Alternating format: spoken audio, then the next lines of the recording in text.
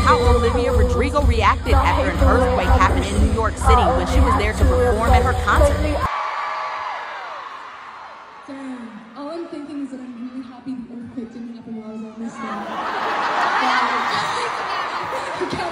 thing.